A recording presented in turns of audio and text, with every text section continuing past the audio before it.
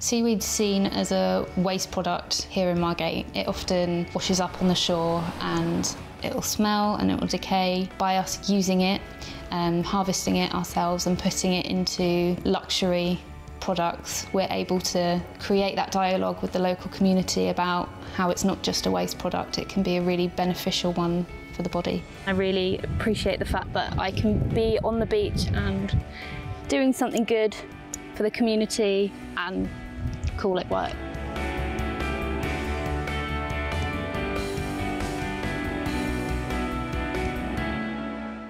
Haeckels currently exists as a 100% natural ingredient supplier. We create beauty products, skincare products, and a whole range of homeware products as well. Every product has a reason to exist. That allows us to not just be the seaweed skincare brand, that allows us to be that progressive beauty brand that concentrates on how we can amplify the natural world, how we can create game-changing products, and how we can also pioneer new materials to present the full package of sustainability and beauty. One of my favourite parts of the job, picking seaweed.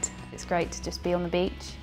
I came in pretty quickly, so I've got a bit wet. Seaweed grows in abundance around the coast and the way that we pick it, we cut it from the higher up on the frond so that it can regrow. If the seaweed's just pulled off the chalk reefs, then it won't grow again. But we're very careful with the way that we harvest.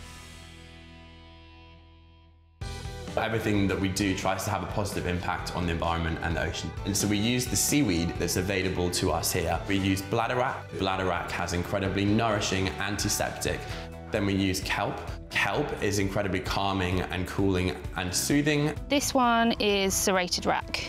Seaweed contains a natural alginate, so it's really softening on the skin, really hydrating. It also has a natural iodine in it. When it's used in our seaweed wraps at the treatment rooms, it can really help with joint pain. We do like to collect different varieties as it allows us to showcase the different bioactive properties in the marine algae around our coasts. We've got just under a box in here and probably the same in yeah, this just one. under a box in this one as well. We usually try and fill them up, but the tide's They're coming. quite heavy as well, so need make sure we can carry them back. The plan now is to take a box back to wash and dry, and the other box will go to the treatment rooms for seaweed wraps and seaweed baths. So I was getting some of the seaweed out of the dehydrator. Now it's kind of all kind of dried up. Um, so this means we can now kind of ground it down, uh, put it through the extraction process. My favourite product is the perfumes.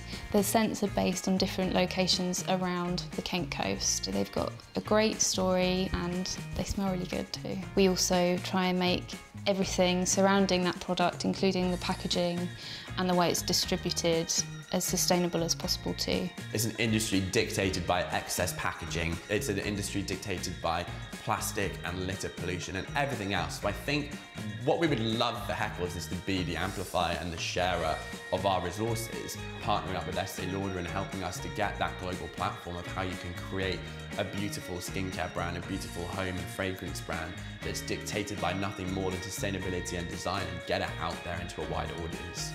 Haeckels has always been a pioneer of new uh, materials and we champion smaller suppliers as well. I think that Haeckels is about to be on the cusp of some really, really new, exciting innovations. I think it's always impossible to achieve this mission as you scale, so we've been laser focused as to how we grow in a sustainable manner, how we constantly highlight and amplify new materials and new resources, and how we never overconsume anything out of the natural world. You're gonna be excavated on the beach in Margate and they'll find all the, the Haeckels remnants.